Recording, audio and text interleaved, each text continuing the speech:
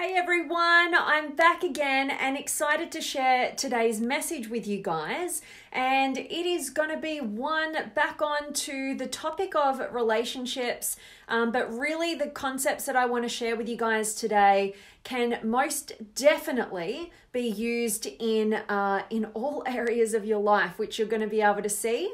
Um, but as you guys know, I love uh, using relationships as a really great forefront and um, just using it to depict the concepts because I think we can all relate to relationships. And if you can master the realm of relationship, and in particular, intimate relationship, you can absolutely master your life because it is one of the most difficult areas of life. So that's why I absolutely love sharing it with you guys. So today's message is all about uh, how to stop wasting time in the wrong relationships and to simultaneously ensure that the right ones reach their potential. Okay, this is going to be a really big one, um, and uh, it's really come at play for me because, as you guys know, um, through the messages I've been sharing with you over the last few months, pretty much for 2020, it's been very much around my personal growth and transformation in this realm,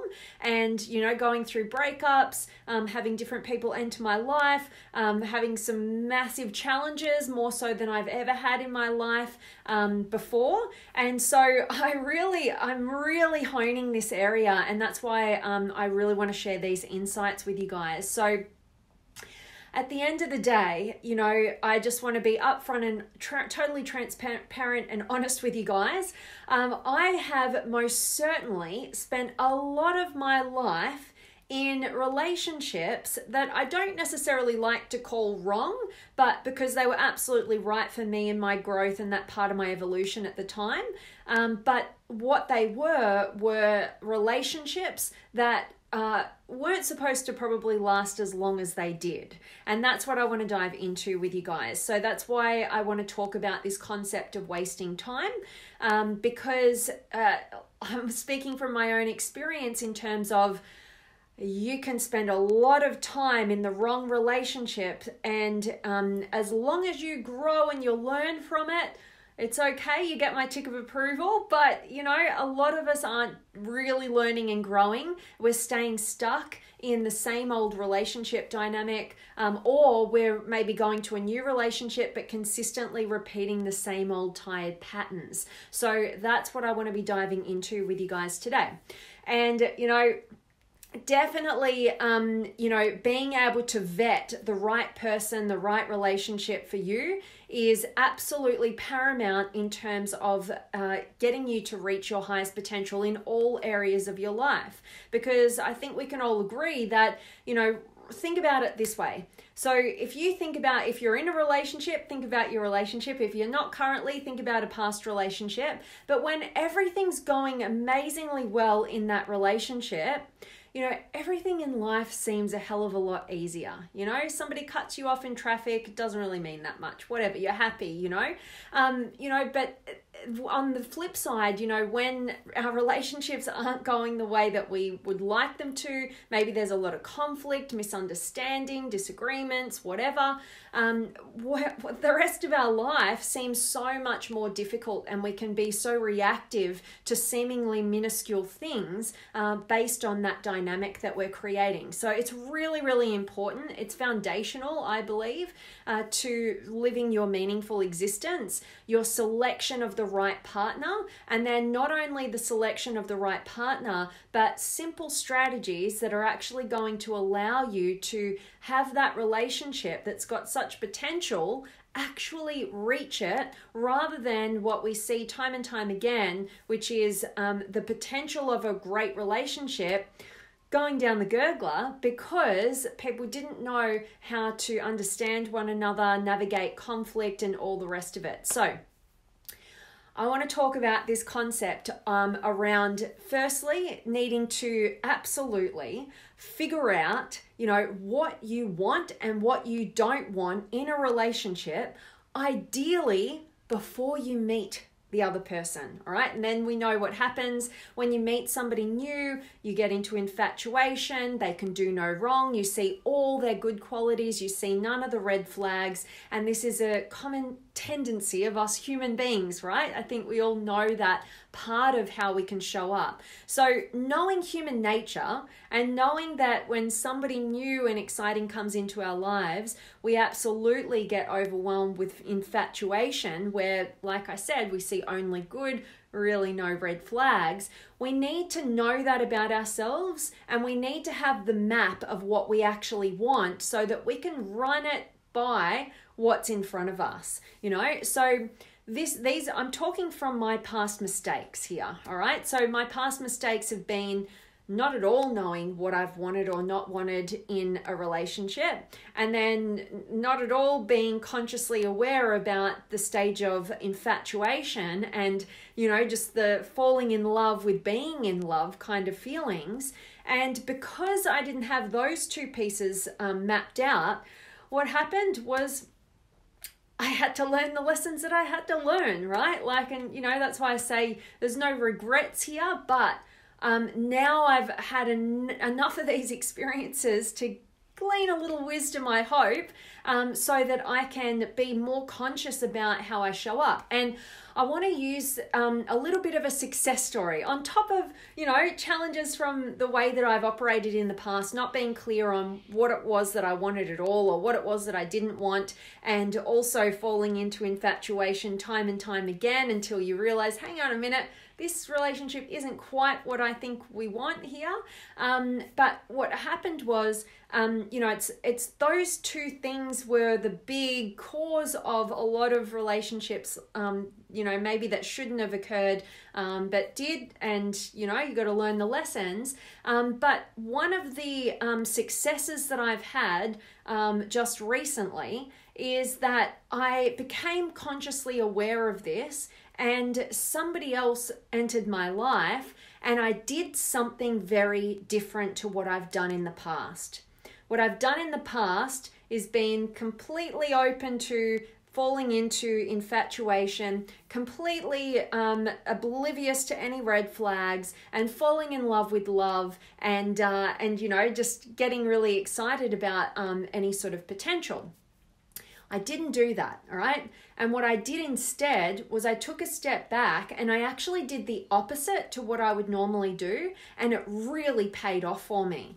All right, so the opposite was to actually be super clear on what it was that I wanted, what it was that I didn't want, um, and un- and take a step back so that infatuation wasn't going to play the forefront, and actually start to challenge this person um, and be really, really clear and upfront about who I am, about what I want, about what I won't settle for, about um, what's not working for me, and being very, very clear when you know different red flags were arising um, to kind of just talk about that and just to challenge this person on that. And it was seriously building a huge new muscle for me. And what happened was the best thing ever, which was at the end of the day, this person um, presented themselves as the ideal that they perceived I wanted. And because I challenged them and I took a step back and I just I kept it in the friend zone and um, was really quite upfront in my mind, um, what happened was that person actually begun to show their true colors. And they're a completely different person to who they first presented them um, themselves as. And and now i've had a really great example or experience which doesn't feel that good but i've had a really good experience that's woken me up to um, a lack of authenticity, a lack of um, congruence in different people, and to be able to build that muscle to see that a hell of a lot more is one of the most empowering things that could have ever happened to me personally. And so that's first and upfront. You know, we need to know exactly what we want, what we don't want. That comes from knowing who we are and comes from experience as well. Um, and we want to do that before we meet somebody. We also want to make sure that we're aware that how easy it is to fall into infatuation and, and take put the brakes on and really slow down.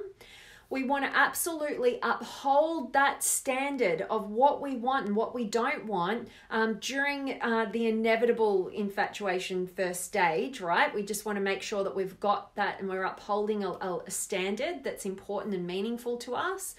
And then what we need to do, right? So, like the wrong relationships, they're just going to go, they're going to be so repelled by that whole situation, right? The people that you don't want in your life are going to be repelled by that. And that's great. You don't want to waste any time with those people. The people who can you can create an, an extraordinary quality of relationship with, they're going to share those similar values. They're going to respect those. They're going to appreciate, um, you know, that you can be like that. And they're going to, um, you know, step up to the plate in terms of um, the standard of relationship that you've outlined and that you want. And, you know, at the end of the day, you're going to attract somebody who's got that same level um, of clarity, usually around their relationship and around what they want, right? We end up attracting our reciprocal. Um, and that's time and time again. And so, if they get past those stages, um, then you know what it's about is actually um, I'm going to say this in a kind of technical term and then I'm going to break it down for you. But if you want that relationship that has a lot of potential to actually re- reach its potential, this is where you need to listen. And you might currently be in a relationship and maybe you, you've got a lot of love for one another, but there's some challenges and there's some misunderstandings. And this is what I want you to hear as well. You need to nail the micro discretions before they become irreversible macro problems. All right, that sounds really technical. I'm going to break it down for you right now. What's a micro discretion? A micro discretion is something that just kind of ticks you off a little bit, right? It's just like, oh, not sure about that. Um, that really kind of rubbed me the wrong way, but oh no, it's too small, right? We won't deal with that, right? We'll just don't, don't worry about that. We don't want to cause any conflict, right? That's a micro discretion. And if you have many of them, which we do, and you allow them to continuously stack up, what they become is macro problems, right? Big problems that if you've left all of those little micro discretions stack and stack and stack because you, you just discounted them and you thought they weren't they weren't big enough to, to really bring up and to enter any sort of conflict or challenge. Um, and what happens is it becomes that huge problem. And if you let it stack up that much, it becomes irreversible. And this is where you see what, a, what could have been extraordinary relationships. They could have reached this amazing potential together fly out the window and there's uh, it ends up with two very hurt wounded um, empty individuals who are going in their separate directions now. And we could have saved that right? They could have actually created something super extraordinary had they just addressed the micro discretions, those little tiny things, the little red flag that comes up, or the, the little thing that just challenges you or just goes against your values or something. If you address those little micro discretions, you give your relationship the potential um, of reaching its potential, right? And so, you know, you don't, this is the number one thing that kills relationships that are the right one that have a lot of, of um, potential in them, not dealing with the small things, and you let them become huge things that then become so big and such a wedge between you that it becomes an irreversible problem.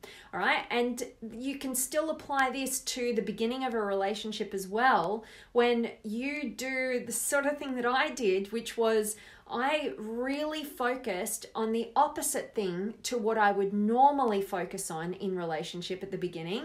I would normally focus on all the positives, all the good, all the potential, all the amazing things about this person. And I'm wired to see that in everybody that I meet. That's how I'm wired. That's what gives me energy to be able to see what's great about somebody and bring it out to the surface.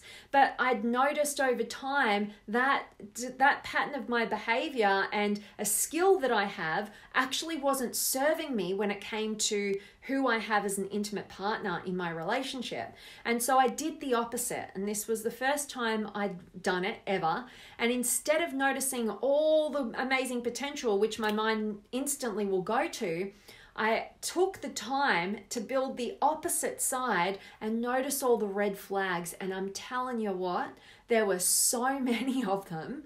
It would have been absolutely crazy for me to ever even consider, you know, um, having an intimate relationship with this person, right? And um, not saying that they're necessarily a bad person or anything like that, but when you get conscious about what you want in relationship and what you don't want. And you know in my experience you know experience enough challenge and, and pain and whatever in relationship and dynamics that are just and and not getting anywhere but costing you a lot of effort and energy you know you start to notice and not want to actually waste your time.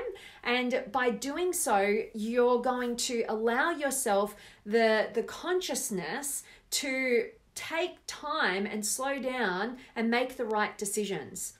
Like I said, everything that I'm sharing with you guys today is absolutely going to help you stop wasting time on the wrong relationships because you're going to vet them out real quick and also coupled with if you you know the, that person absolutely you know um, is coming with you on that journey and they are the right person for you then what we're sharing today in terms of dealing with the little things and the little red flags um, and the little things that rub you the wrong way um, if you deal with them quickly you're going to allow your relationship to actually reach its highest potential um, rather than you know, create a huge problem and a wedge between you because you didn't deal with all the little things stacking up and now it becomes an uh, irreversible problem. All right, so definitely, definitely hope that today's message has served you. I want to check in with you guys, so drop me a comment, um, any questions or comments or words of wisdom, um, anything that you have to share. I would absolutely love to connect with you now.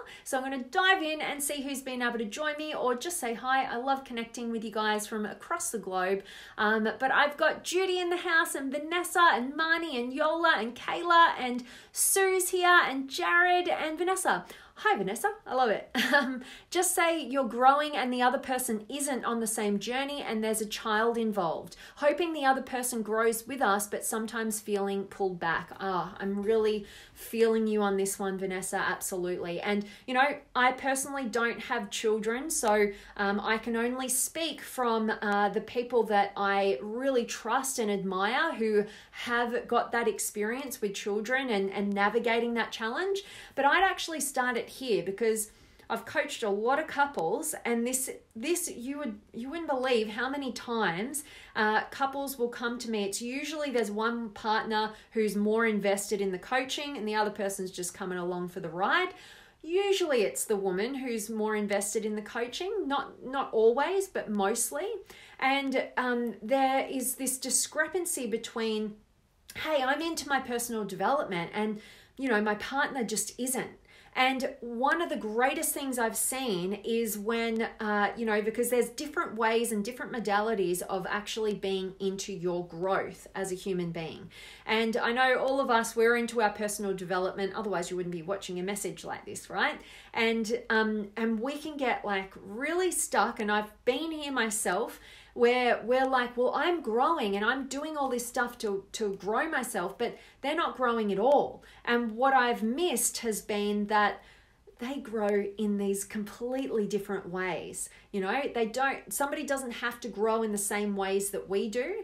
Um, so I just wanted to put that out there because I've seen this save relationships a, a few times now. Um, and it's really, really cool to just be able to understand and witness how is that individual, how does he or she grow? How are they growing themselves instead of me feeling like I'm growing but they're not? Right? And th- just by doing that, you can get a new appreciation for your differences, um, you know, because that's what attracts you to one another. You know, you're not the same person, you have different ways of living, growing, thinking, feeling, perceiving the world, all these different things. And sometimes it just comes down to understanding and then appreciating those differences But then, secondly to that, you know, um, the way that you are growing, you know, uh, it can be changing your whole life, you know, and so your whole perception on the world, you might be um, shifting in your values, and there there might be some really big changes at play uh, that are not necessarily in alignment with that partner.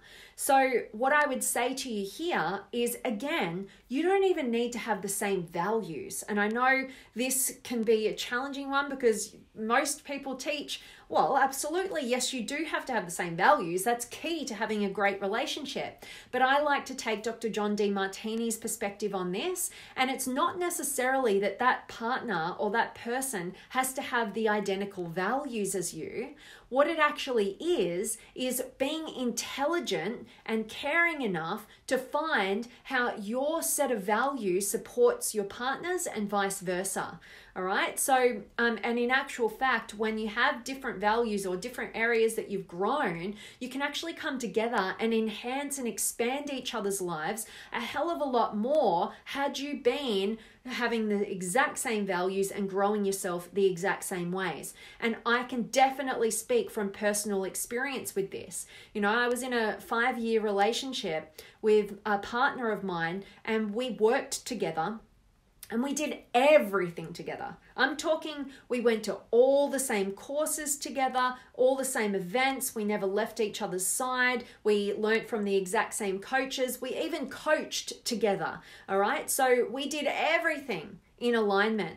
And I'm telling you right now that that was not an easy relationship dynamic to have it play. And in fact, it had a lot of blind spots because we were so similar in so many ways. And um, also a lot of codependence, you know. So it's really important to understand that it's not about, co- we don't want codependence when you're totally the same and totally reliant on one another and you're growing, have to grow the same ways and stay together and we don't want independence where you're just completely separated in your lives and living these, you know, these parallel universes. And what we really want is interdependence we want to have that we want to have that overlay. We want to um, also have our differences and our independent um, streams of growth and and what we're interested in in this world. But we need to have great quality communication and a vision for what we're both inspired by that incorporates everything that's meaningful to two very different individuals. All right? So went off in a bit of a rant with that one, Vanessa, but I really, really hope that that served you. And um, please always know that you can reach out. I know you're in the master classes. Come and join us, and I'm um, happy to support you further on that as well and hear a bit more about what's going on.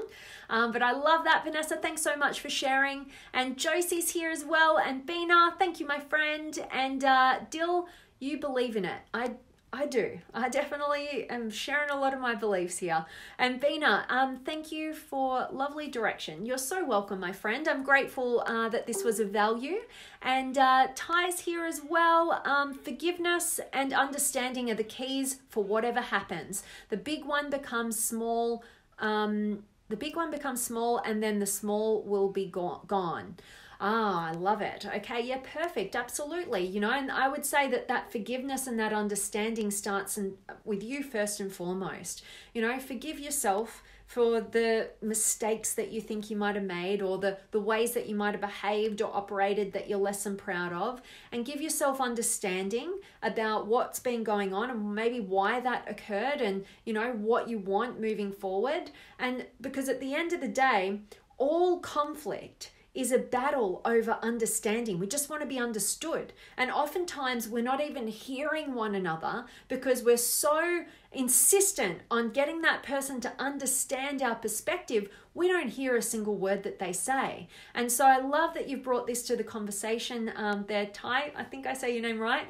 Um, because if you can give yourself understanding and forgiveness, I love that as well, then you're going to be able to actually hear your partner and you're going to be able to actually express yourself in a way that they can actually comprehend. All right. So I love that and uh, appreciate that. And absolutely, you can diminish the challenges in your relationship, absolutely through understanding and forgiveness and communication, as we know, is absolutely vital and key. But remember, like, you really need to look after your own self uh, as the core and the foundation to your relationship success. So, reach out to me um, with any questions that you might have with that. I love that. And Vanessa, yes, um, do you think we can sometimes fall in love with potential and not the reality? Hell yeah.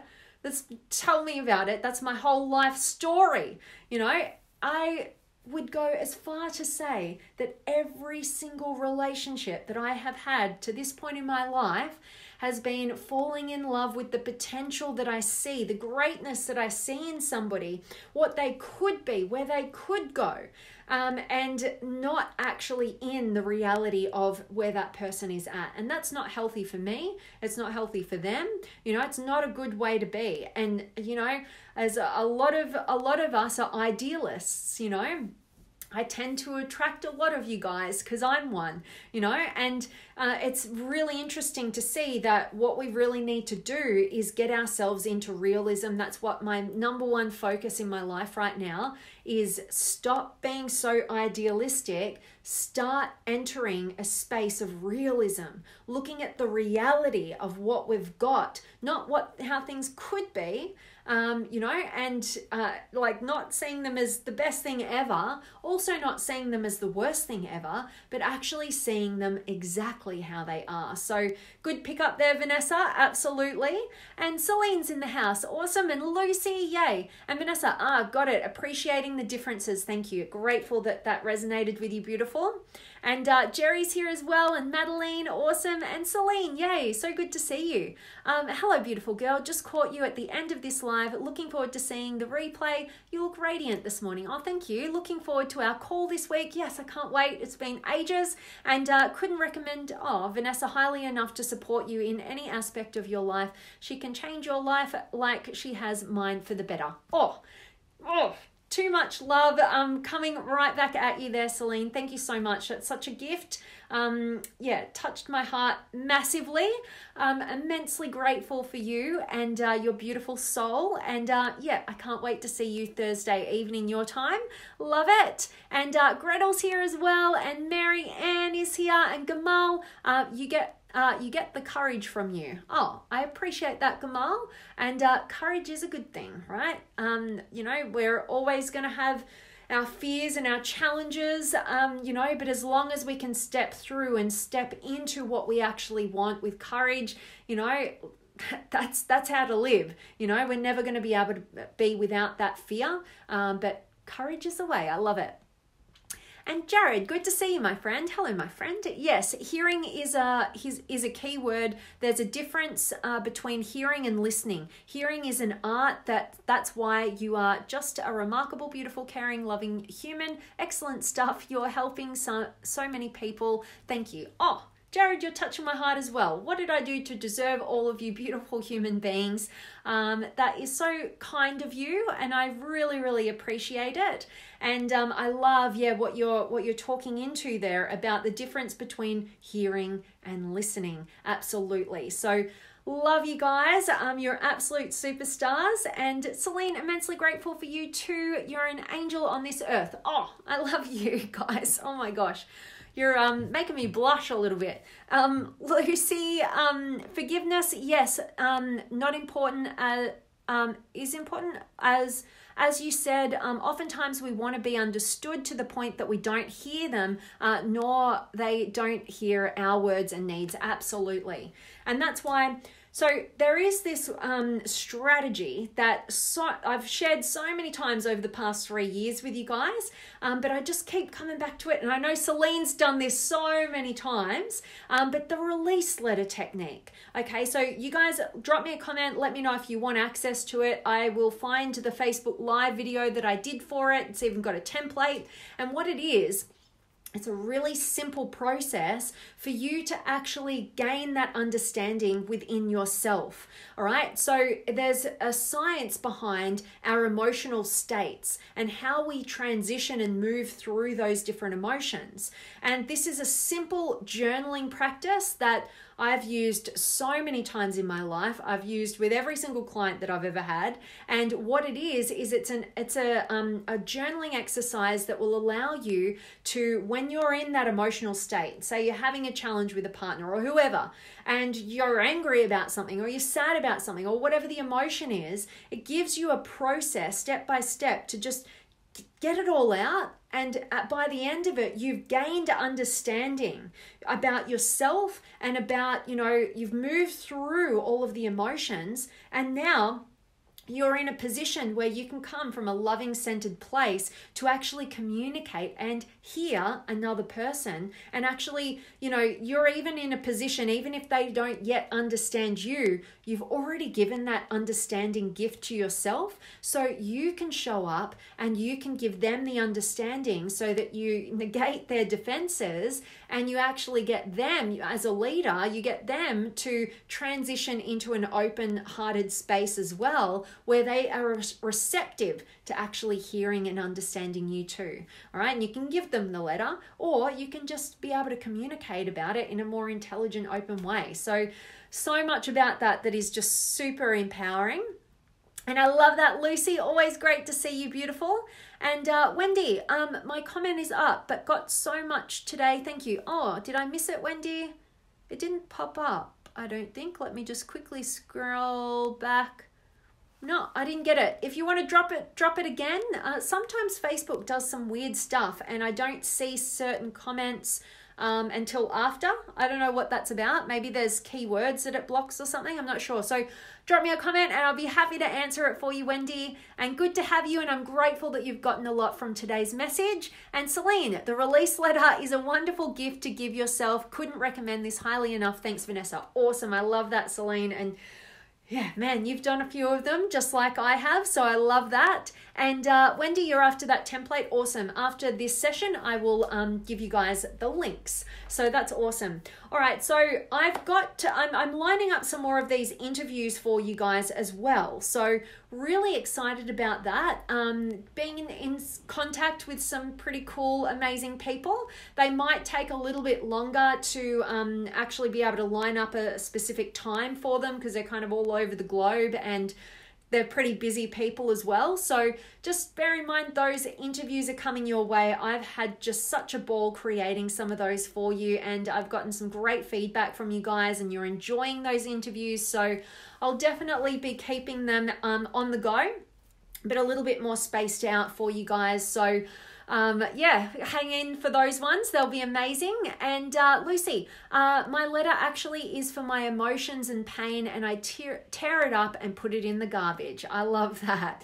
You know, I, that's a really great process. You know, um, I, I know people who burn that sort of stuff as well. Put it in the garbage, chuck it out, tear it out burn it, whatever. And it's um it can be a really good experience uh, to move through those emotions and leave them behind. And I love that you do that, Lucy, because a lot of people do the wrong thing, oh, which is they go back to the letter of their emotions and they reread over it and relive the same emotions and the same experience and they recycle it. So I love that you do that, Lucy, and you get rid of it, you know, because once you process it, it's gone. Uh, studies have shown that even the most um, a, like biggest amount of anger that you could like rage that you could have if you allow yourself to fully feel through it and process it, it won't take more than eight minutes to actually fully be on the other side of uh, if you don't stop it and restrict it. So that's why giving yourself time doing this journaling exercise with the release letter is super valuable. So I'll link you up with that as well. And thanks for that for sharing that, Lucy. And Jay's in the house as well. I love it. And Wendy, I need to learn that my ex-partner as he uses um, my mental health to make me question myself. Ugh. There's a great movie on that. It's called Gaslighting um, or Gaslight. I don't know if it's Gaslighting or Gaslight. Um, I watched it recently um, when I had my auntie come up and stay with me when I was up in Noosa and um, she put it on. We just watched it straight from YouTube. I'll link you up to it. Um, but it, oh, oh, yeah, it's um. So gaslighting is this term which is used when um, a partner or somebody in your life makes you feel a bit crazy, right? For um, feeling the way that you do or operating the way that you do. And if it's just the two of you, can make you really start to question yourself and, um, yeah, and your own mental health and all sorts of things. And it's really, really not a healthy thing. But when you can become aware of it, and oftentimes it's really helpful to have people outside of your relationship, not family and friends, but some sort of mutual third party um, who can be your kind of bounce off and say, hey, is this what's happening? Is this not what's happening? Can be super vital um, to ensure that you don't fall victim to that pattern. It's a manipulation that comes from people who are very low in self esteem, um, oftentimes uh, need to be right all the time, um, and not willing to accept uh, their own challenges or take responsibility for what's not working within themselves. So, you know, you, it's a scary place to be around people who, in order to feel better about themselves, need to tear other people down um, you absolutely want to see that as a massive red flag and get some support. And, um, you know, at the end of the day, um, we, we want the people who operate from a place of fear and do those things to be looking after themselves as well. All right. So, you know, as I'm always mentioning from the amazing book, A Course in Miracles, everything that another person does is either an expression of love or a call for love. Okay, it's either coming from love or fear. All right, and when people operate in that way, they're they're trapped in a lot of their fears. But it's not, you know, it's not your responsibility to do the work for somebody who's not going to do the work for themselves. But it could be an opportunity to confront the situation and um, you know and support them on their own growth journey as you go on yours as well. So there's a lot in there um, but uh, please do uh, reach out to me if you need any support on that wendy. Um, and let me see here. I wanted him to understand my emotions but he plays on me. Thanks for understanding and reading my comment. Absolutely. So wendy Another great reason why the release letter technique will really support you because, you know, uh, not everybody is going to be able to hold emotional space for you, unfortunately.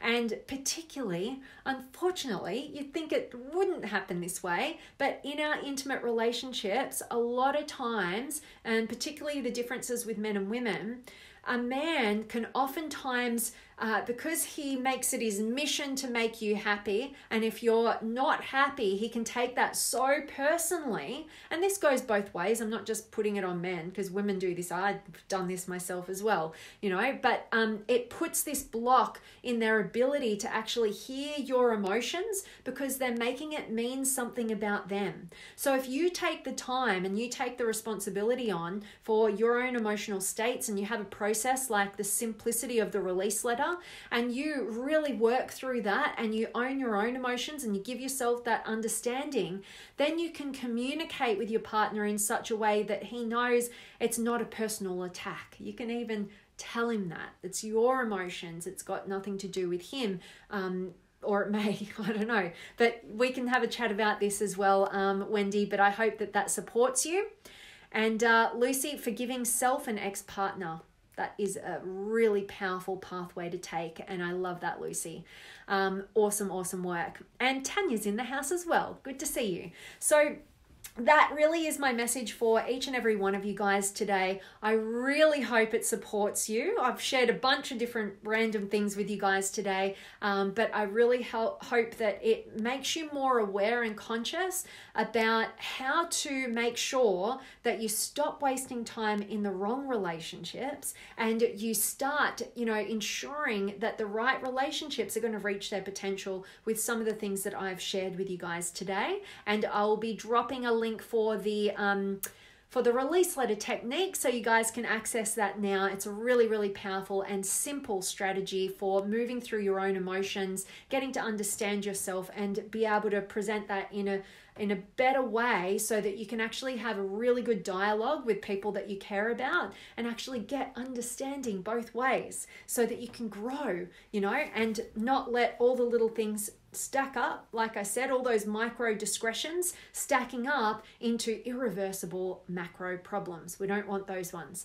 All right, so I hope this has served you. Please do share it if it has been of value to you guys. And uh, I cannot wait to see you guys tomorrow. So, as always, I'm sending you guys all of my love, light, blessings, gratitude, energy, enthusiasm, everything extraordinary coming to you to wherever you are in the world today. I really do hope that it's beautiful, amazing, and extraordinary, that you're doing something super empowering, and today's message has definitely served you. And um, like I said, got some amazing interviews that'll be coming your way, but they might be a little bit more spread out. But um, love this. And Sue, you're so welcome, beautiful soul. Grateful that this could be of value. And uh, I'm signing off. I'm sending you guys all of my love, and I'll see you tomorrow.